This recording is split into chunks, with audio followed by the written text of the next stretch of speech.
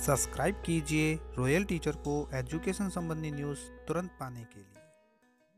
एमजीजीएस स्कूलों के टेस्ट के संबंध में जानकारी, प्रवेश पत्र, परीक्षा केंद्र इत्यादि साथ ही परीक्षा के दिन सीएल लगेगी या नहीं लगेगी, पीटीआई, इसके अलावा लैब असिस्टेंट उनके लिए एग्ज़ाम होंगे या नहीं होंगे।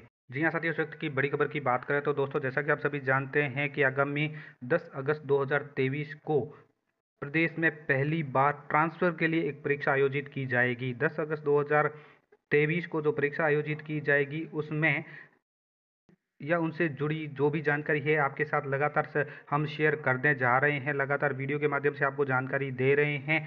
उनमें कौन कौन से प्रश्न आएँगे या किस तरह के आएँगे तो उसमें आपको बता ही दिया है कि उसमें एक तो विभागीय जानकारी के कुछ प्रश्न आएँगे, साथ ही विभागीय योजनाओं के प्रश्न आएँगे और इसके अलावा इंग्लिश मीडियम यानी इंग्लिश के प्रश्न, दक्षता संबंधी प्रश्न आएँगे जो माध्यमिक स्तर के रहेंगे।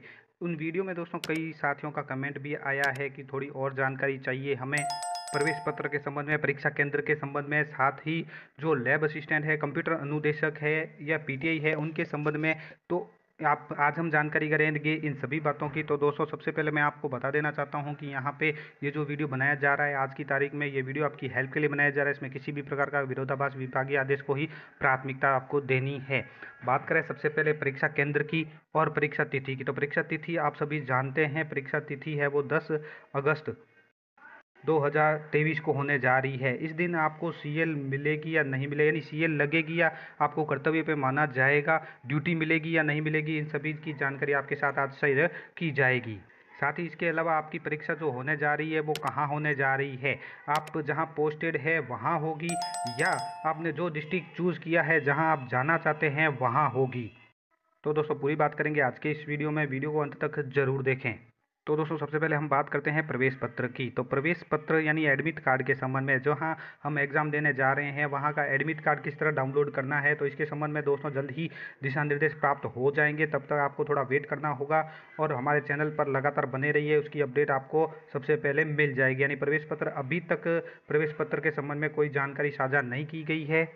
कैसे आपको डाउनलोड करना है, उसकी पूरी प्रोसेस आपको बता दी जाएगी और साथ में दूसरी बात करते हैं परीक्षा केंद्र की। तो इस आदेश के अनुसार दोस्तों, ये जो आदेश पहले आया था बीकानेर का, यानी निदेशक माध्यमिक शिक्षा राजस्थान बीकानेर का, जो 31 जुलाई 2023 को जारी किया गया था, परीक्षा पाठ्यक्रम के संबंध में था, इसमें परीक्षा केंद्र की स्पष्ट जानकारी दे रखी है कि यहाँ परीक्षा होगी। ये देखिए, परीक्षा केंद्र, यहाँ लिखा है आवेदक कार्मी की परीक्षा, उसके वर्तमान पदस्थापन स्थान से संबंधित ज़िले में निर्धारित परीक्षा केंद्र पर ली जाएगी। यानी जहाँ आप पोस्टेड है, वहीं पर आपकी परीक्षा ली जाएगी और इसकी सूचना आपको पृथक से अलग से दे दी जाएगी।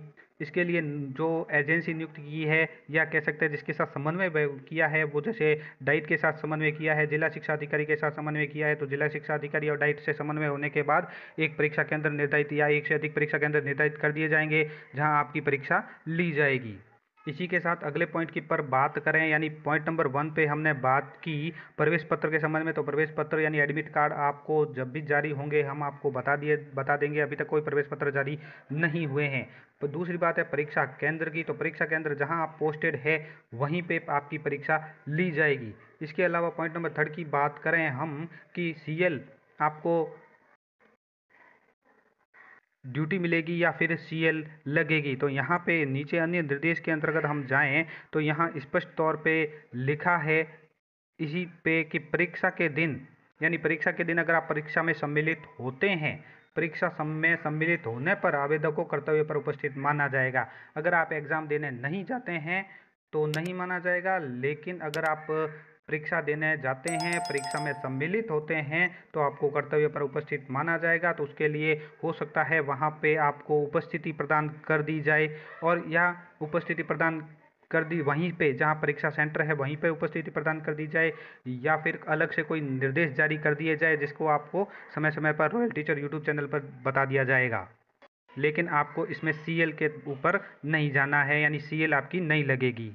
इसके अलावा दोस्तों बात करें पॉइंट नंबर फोर की जो कंप्यूटर अनुदेशक लैब असिस्टेंट या इन, इनके अलावा जो भी है और पीटीआई तो इनके संबंध में दोस्तों अभी तक कोई भी जानकारी साझा नहीं की गई है कि इनका टेस्ट होगा या नहीं होगा इनका इंटरव्यू होगा या नहीं होगा। उसके लिए आपको वेट करना होगा थोड़ा। जैसे ही जानकारी आती है हम आपके साथ साथ ज़रूर साझा करेंगे। उम्मीद है दोस्तों ये वीडियो आपको पसंद आई होगी। वीडियो पसंद आए तो ज़रूर लाइक शेयर और सब्सक्राइब कीजिए। पास में आने वाले घंटी के बटन को ज़रूर दबाएँ। एजुकेशन संबंधी न्यूज़ तुरंत पाने के लिए।